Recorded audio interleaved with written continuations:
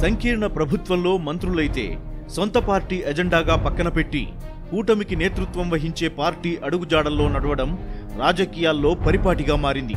ఉదాహరణకు AP CM Chandrababu Naidu నేతృత్వంలోని TDP కేంద్రంలోని ఎన్డీఏ ప్రభుత్వంలో భాగస్వామిగా ఉంది. పేరుకు సంకీర్ణ ప్రభుత్వమే అయినా టీడీపీ తన అభిప్రాయాలను పక్కన పెట్టి ఎన్డీఏ కూటమికి నేతృత్వం వహిస్తున్న బీజేపీ అడుగుజాడల్లో నడుస్తోంది. ఏపీకి సంబంధించిన కీలక విషయాల్లో కేంద్ర వైఖరిని టీడీపీ నేతలు విమర్శించిన సందర్భాలు చాలా ఉన్నాయి. ముఖ్యంగా ప్రత్యేక హోదా విషయంలో బీజేపీ వైఖరిపై టీడీపీ నేతలు మండిపడ్డారు.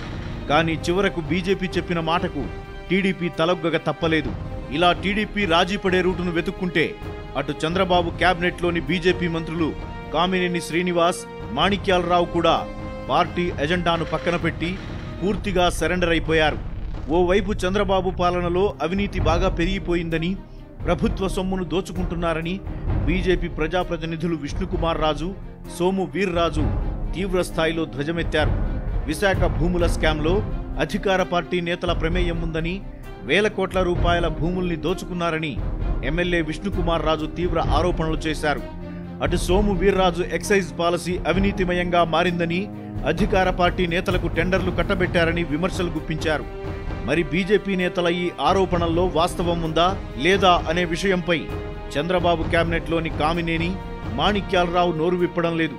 వైసీపీ నేతలు చేసే ఆరోపణలను ఖండించే బీజేపీ మంత్రులు సొంత పార్టీ నేతలు చేసే ఆరోపణలపై మౌనం పాటించడం విమర్శలకు తావిస్తోంది. దీనికి కామినేని మాణిక్యాలరావు ఇచ్చే సమాధానమేమిటంటే చంద్రబాబు అంతటి వ్యక్తి బీజేపీ హైకమాండ్కి సరెండర్ అయినప్పుడు మేం ఆయన బాటలో నడిస్తే తప్పేంటని వాదిస్తున్నారు. బీజేపీ నేతలను ఖండించకపోవడాన్ని పక్కన పెడితే కామినేని ఏకంగా టీడీపీ నేతలా మారిపోయారేమో అన్న అనుమానం కలుగుతోంది.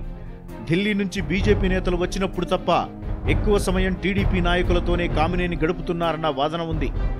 ఇక మాణిక్యాలరావు విషయానికొస్తే ఎన్ని అవమానాలు జరిగినా వాటిని దిగమింగుకుని జన్మకో శివరాత్రిలా వచ్చిన మంత్రి పదవిని అనుభవిస్తూ కాలక్షేపం చేస్తున్నారు.